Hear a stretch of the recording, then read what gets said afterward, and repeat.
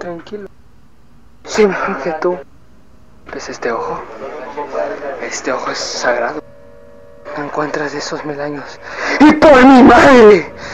¿Qué has hecho, perro? Porque somos los perros del mal.